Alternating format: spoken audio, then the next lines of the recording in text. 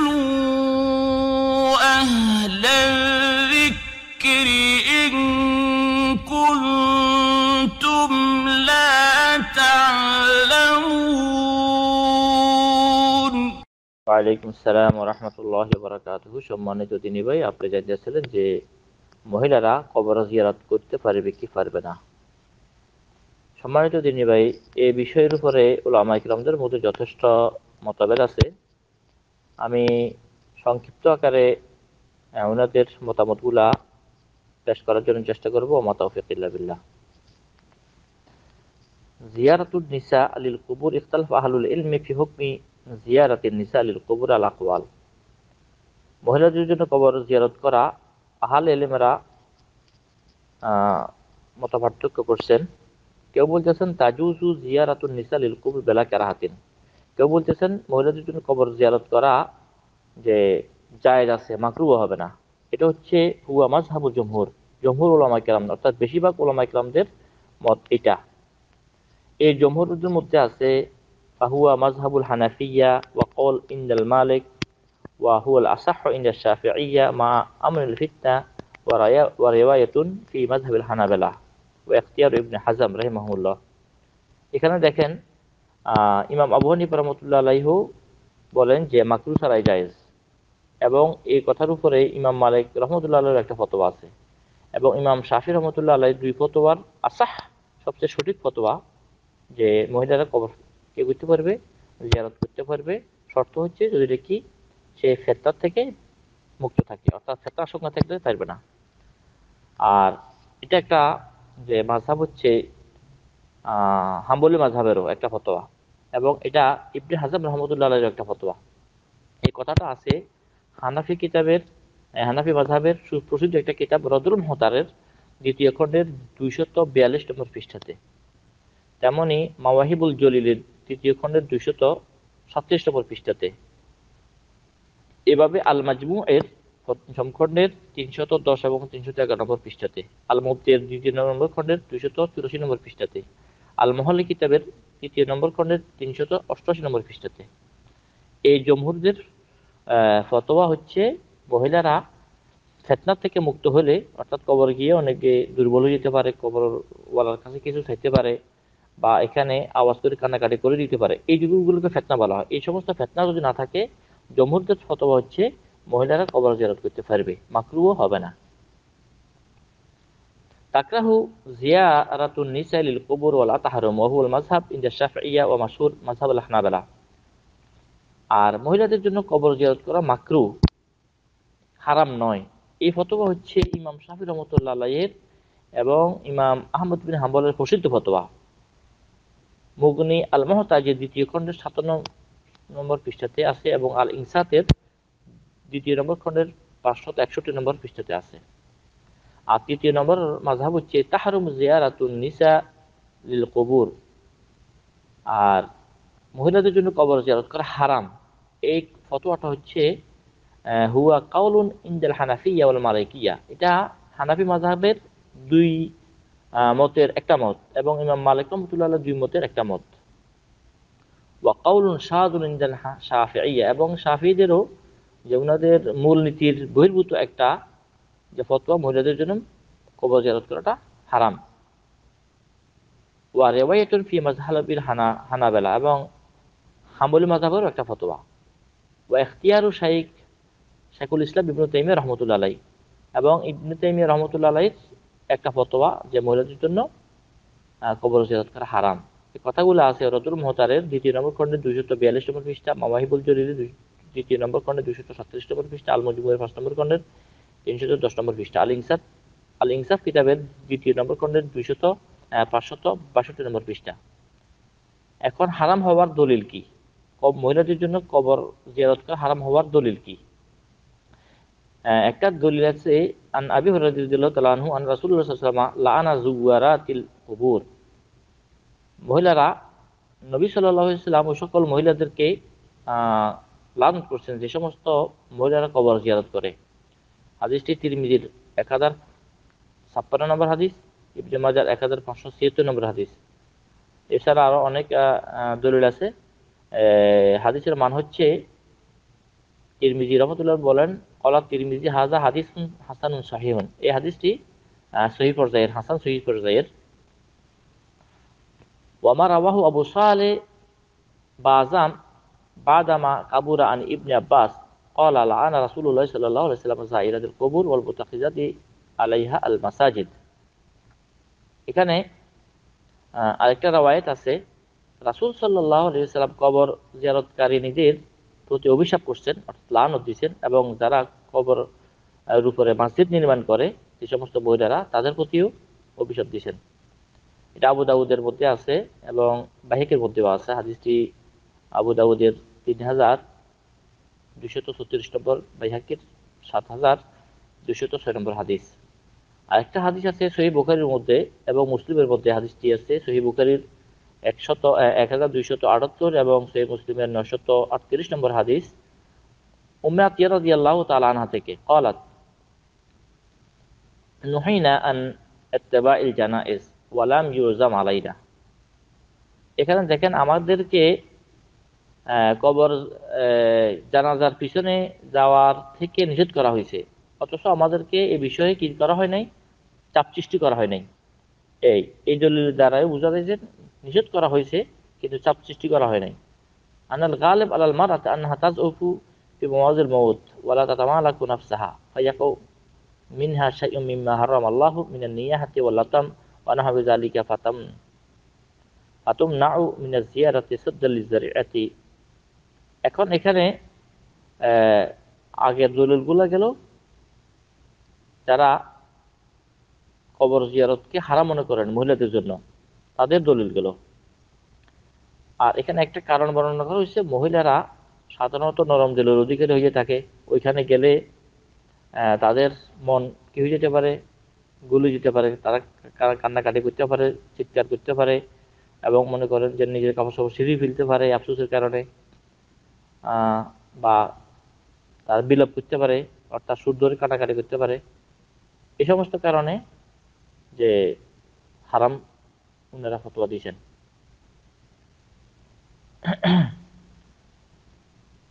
আর যারা জায়েজ হিসেবে বলেন ইস্তাদাল্লাল জমহুর বিয়াদত মিনাল আদিল্লাহ, যারা কবর জিয়ারত করা মহিলাদের জন্য জায়েজ মনে করেন, তাদের দলিলও আছে। তাদের দলিল হচ্ছে সবুত ইবন নবী সাল্লাল্লাহু আলাইহি ওয়াসাল্লাম আয়েশা ওয়া তালিব ইহা দোয়া। অর্থাৎ নবী সাল্লাল্লাহু আলাইহি ওয়াসাল্লাম আয়েশা সিদ্দিকা তাআলা আনহাকে আহ, অনুমোদন দিয়েছেন এবং কবরস্থানের দোয়া উঠাকে তালিম দিয়েছেন ইজা জারাত আল কুবুর কুলতু কাইফা কুলু লাহুম ইয়া রাসূলুল্লাহ। তখন আয়েশা সিদ্দিকা রাদিয়াল্লাহু তাআলা আনহা বললেন ইয়া রাসুল আল্লাহ আমি যদি কবর জিয়ারত করি তখন আমি কি বলব? তাদের জন্য আমি কি বলব? মৃত্যু জন্য আমি কি বলব হে আল্লাহ রসুল? কলা কুলি, তখন রাসুল শিক্ষা দিলেন, আসসালামু আলা আহলে জিয়ারি মিনাল মুমিনিনা ওয়াল মুসলিমিন ওয়াজারহামুল্লাহুল মুস্তাকদিমিনা মিন্না ওয়াল মুস্তাখিরিন ওয়া ইন্না ইনশাআল্লাহ বিকুম লালাহিকুন। এই দেখেন সহি মুসলিমের নয়শত সত্তর নম্বর হাদিস। সহি মুসলিমের নয়শত সত্তর নম্বর হাদিস আয়সা জিকাল জালাহ সংক্রান্ত। তিনি বলেন, ইয়া রাসুল্লাহ আমি যদি নাকি কবরস্থানে যাই তাহলে মৃত্যু ব্যক্তির জন্য কি দোয়া করব? তো রাসুল সাল্লাহ আলাইসলাম তাকে অনুমোদন দিলেন কীভাবে? দেখেন, যে তুমি এই দোয়াটা পড়বে, আসসালামু আলাম আহলি ওয়াল মুসলিমিন বিকুম লালাহিকুন। তাহলে যদি নাকি হারাম হইতো, তাহলে তো রাসূল ওয়াসাল্লাম নিষেধ করতেন, বরং রাসূল ওয়াসাল্লাম ওনাকে উৎসাহিত করতেন, দোয়াটা শিখিয়ে দিলেন। আরেকটা হাদিস জায়েজ হওয়ার দলিল মহিলাদের কবর জিয়ারত করা হাদিস এই আনাস বিন মালিক রাদিয়াল্লাহু তাআলা আনহু থেকে তিনি বলেন, মারা নবী সাল্লাল্লাহু আলাইহি ওয়াসাল্লাম বিইমরাতিন তাবকি ইনদা নবী সাল্লাল্লাহু একটা কবরের ফাঁসি দিয়া যাইতেছিলেন, দেখতেছেন যে একটা মহিলা কবরের ফাঁসি, কান্নাকাটি করতেছে। ফাকাল ইত্তাকিল্লাহ ওয়াসবিরি, তখন রাসূল সাল্লাল্লাহু আলাইহি ওয়াসাল্লাম তাকে বললেন, তুমি আল্লাহকে ভয় করো এবং ধৈর্যশীল হও। ফাকালাত ইলাইকা আননি, তখন নবী সাল্লাল্লাহু আলাইহি ওয়াসাল্লামের উপর বিরক্ত বোধ করে নারীটা বলল, যে তোমার পথে তুমি যাও, আমার পথে আমি আছি। অর্থাৎ উনি অসন্তুষ্ট প্রকাশ করলেন যে রাসূল সাল্লাল্লাহু তাকে নিষেধ করলেন। আর বললেন ফাইন নাকা লাম তুসাব বি মুসিবাতি আমার যে মুসিবত হয়েছে সে সম্পর্কে তোমার জানা নাই। তোমার সে মুসিবত পৌঁছে নাই। বললাম তা আরিফ ও মহিলাটি নবী সাল্লামকে চিনতে পারে নাই। ফাকিল আল্লাহ তখন অন্য কেউ বললেন যে মহিলাকে, ইন্নাহু নবী সাল্লাহ সাল্লাম এই ইনি হচ্ছে নবী সাল্লাহ সাল্লাম যিনি তোমাকে এই কবরের ফাঁসে, এরকম কান্নাকাটি করতে নিষেধ করছেন।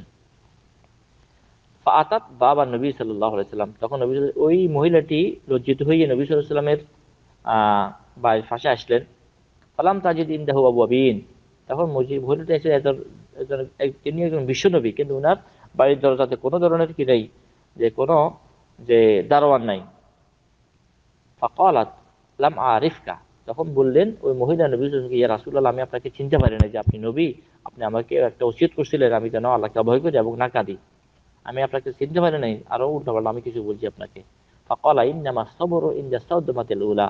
রাসূল সাল্লাল্লাহু আলাইহি সাল্লাম বললেন যে ধৈর্য ধারণ করতে হয় বিপদের প্রথমেই। অর্থাৎ যখন বিপদ আসি গেছে, তাহলে এই সময় আমাকে ধৈর্য ধরে ফেলতে হবে। তাহলে আমি যে আল্লাহ পাকের পক্ষ থেকে পুরস্কৃত হব। হাদিসটি সহি বুখারির এক হাজার দুইশত তিরাশি সহি মুসলিমের নশত ছাব্বিশ নম্বর হাদিস। এই হাদিসের মধ্যে আমরা দেখতে পাই, রাসুল সাল্লাহ সাল্লাম তাকে যে ওইখানে কান্নাকাটি করে যে ওই মহিলাটি মূলত ওইখানে কান্নাকাটি করতেছিল আওয়াজ করে। এটাকে নিষেধ করছেন।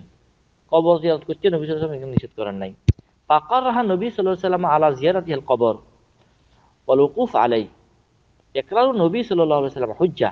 এখানে নবী সাল্লাহ এই মহিলাকে কবর জিয়ারত করতে নিষেধ করেন নাই। এটাকে নবী সাল্লাহ সাল্লাম অনুমোদন দিয়েছেন কিন্তু এখানে যেটা না করছেন, সে যেন কি না করে, এরকম হালাচিলা করে এখানে কানাকাটি না করে। তাহলে সেই বুখারি, মুসলিম হাদিস দ্বারাই মহিলাদের কবর জিয়ারত করা সম্পর্কে আমরা বুঝতে পারলাম।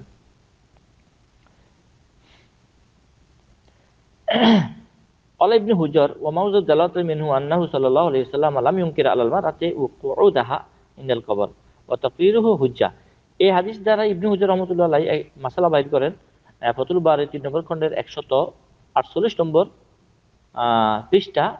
এটি একটি বোখারির ব্যাখ্যা গ্রন্থ উনি বলেন, এই হাদিস দ্বারাই বোঝা গেল রসুল সাল্লাহ সাল্লাম মহিলা কবরের ফাঁসে দাঁড়িয়ে যে বসছে, এটাকে কি করা নাই? অস্বীকার করা, এই নবী সাল্লাহ সাল্লাম এটাকে কি করা নাই?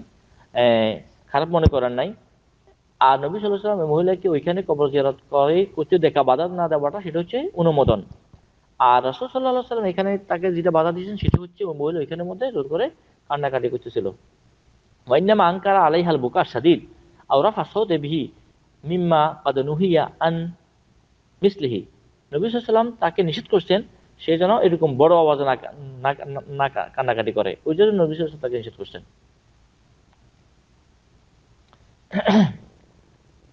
আরেকটা দলের হইতেছে, সবুত জিয়ারাতুল কবুর আনি সাহাবিয়াত।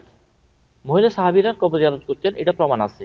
ফাকাদ সাবাত আন আয়েশা রাদিয়াল্লাহু তাআলা আনহা, কামা আর রাওয়া ইবনু আবি মুলাইকা আন্নাহু রাআহা জারাত কবর আখিহা আব্দুর রহমান। অর্থাৎ আয়েশা সিদ্দিকা রাদিয়াল্লাহু তাআলা আনহাকে যে দেখলেন ইবনে আবি মুলাইকা, আয়েশা সিদ্দিকা রাদিয়াল্লাহু তাআলা আনহাকে দেখলেন যে তিনি তার ভাই আব্দুর রহমান বিন আবু বকর রাদিয়াল্লাহু তাআলা আনহু কবর জিয়ারত করতেছিলেন। ফাকির আলাহা তখন আয়েশা সিদ্দিকা রাদিয়াল্লাহু তাআলাকে বলা হলো, আলাইসা কাদ নাহান নবী সাল্লাল্লাহু আলাইহি ওয়াসাল্লাম আন যালিকা, নবী ওয়াসাল্লামকে মহিলাদেরকে কবর জিয়ারত করতে নিষেধ করার নাই। অলাত নাম কানা নাহা সুম্মা আমারা বি জিয়ারাতিহা। নবী ওয়াসাল্লাম এক সময় কবর জিয়ারত করতে নিষেধ করছিলেন। কিন্তু পরবর্তীতে রাসূল সাল্লাল্লাহু আলাইহি ওয়াসাল্লাম আবার কি দিয়েছেন? অনুমোদন দিয়েছেন। এটা মুস্তাদ মুস্তাদরকের মধ্যে উল্লেখ করা হয়েছে। এক হাজার তিনশত বিরানব্বই এবং সুনানব্বই ব্যাংকে সাত হাজার দুইশত সাত নম্বর হাদিস। তাহলে নিয়ে নিষেধ করার পরে আবার অনুমোদন দেওয়া গেছে। তাহলে আগের হাদিস, এই হাদিস দ্বারা বোঝা গেল মহিলাদের উপর নিষেধাজ্ঞা থাকলেও পরবর্তীতে রাসুল সাল্লাম অনুমোদন দিয়েছেন। আর স্বাভাবিক গতিতে সেটাই একটা হাদিস আমরা দেখতে পারি, কল রাসুল্লাহ সাল্লাম কিন্তু নাহাই টুকুম আন জিয়ারাতের কবুর ফাজুরুহা। এখানে আমি তোমাদেরকে এক সময় কবর জিয়ারত করতে নিষেধ করছিলাম। এখন তোমরা কবর জিয়ারত করতে পারো। তিরমিজিতে জাদা তিরমিজি বিসনাদিন সহিহীন, সহি সূত্রে তিরমিজির মধ্যে আরও একটু বাড়ান, ফাইনহা তুজাক্কিরুল আখিরাহ যে কবর জিয়ারতের ফায়দা হচ্ছে কবরস্থানে গেলে আখরাতের কথা স্মরণ হয়। তাইলে এই হাদিসটি সহি মুসলিমের নয়শত সাতাত্তর তিরমিজির এক হাজার চুয়ান্ন নম্বর হাদিস। এখানে হাদিসগুলো সহি। মুসলিমের হাদিসও সহি তিরমিজির হাদিসও সহি তাহলে এখানে আমরা বলতে পারি قال الترمذي بعد رواية الحديث وقد رأى بعض أهل العلم أن هذا كان قبل أن يرخص النبي صلى الله عليه وسلم في زيارة القبور فلما رخص دخل في رخصته الرجال والنساء তাইলে এই ইমাম তিরমিজি রহমতুল্লাহ আলাইহির ব্যাখ্যা উনি বলেন যে বাজ আহলে আলেম যে আহ, আহলে আলেমদের কেউ কেউ মনে করেন এই নিষেধাজ্ঞাটা ছিল কবুর অর্থাৎ যে নবী সাল্লাম মহিলাদেরকে অভিশাপ দিয়েছেন কবর করলে, এটা ছিল আগে। এই মুসলিমের এবং তিরমিজের এই হাদিস দ্বারা বোঝা গেল, রসুল সাল্লাহ সাল্লাম আগে নিষেধ করলেও পরবর্তীতে এই হাদিসগুলো তারা কি করে দিয়েছেন? এটা অনুমোদন দিয়ে দিয়েছেন। তাহলে আগে হাদিসগুলো রহিত হয়ে গেছে, পরের হাদিসগুলা এখন কার্যকর। আর যেহেতু রসুল সাল্লাহ আলাইসাল্লাম বলতেছেন যে আমি তোমাদেরকে নিষেধ করছিলাম, এখন তোমরা কি করো জিয়ারত করো? তাহলে এখানে জিয়ারত করার নির্দেশের মধ্যে নারী পুরুষ উভয় সামিল আছে। এখানে নারীদের জন্য আলাদাভাবে রসুল সাল্লাহ না বললেও কিন্তু যেহেতু অনুমোদন দিয়ে দিয়েছেন নারী পুরুষ সকলের জন্য অনুমোদন হয়ে গেল। যেটা আমরা আগের হাদিস আয়সা জেলাহ তালানা থেকে আমরা বুঝতে পারলাম, রসুল সাহেব আগে নিষেধ করেছিলেন পরবর্তীতে অনুমোদন দিয়েছেন। এই সকল হাদিসের দ্বারাই বোঝা যায় কবর জিয়ারত করা মহিলাদের জন্য বৈধ। আর এখানে আমি এই সকল রাওয়ায়তকে সামনে রেখে বলব আর রাজি হুয়া আউলুল জমহুর, যে সবচেয়ে বেশি প্রণিধানযোগ্য মত হচ্ছে জমহুরদের মত। অর্থাৎ যারা মহিলাদের জন্য কবর জিয়ারত করাকে বিনা মাকরুতে জায়েজ মনে করেন। এটা হচ্ছে যে সর্বসম্মতিক্রমে আমরা দেখি প্রণিধানযোগ্য মত হচ্ছে মহিলাদের জন্য কবর জিয়ারত করা জায়েজ হবে। পাশাপাশিতে যে একটা কথা না বললে নয়, সেটা হচ্ছে যে মহিলারা শরীয়তের জ্ঞানধারী হইতে হবে। আমাদের দেশে মহিলারা যে কোথায় চলে যায়, বিভিন্ন মাজারের মধ্যে চলে যায়, ওইখানে চেষ্টা করে, ওইখানে যে ফির দরবার থেকে অনেক কিছু চায়।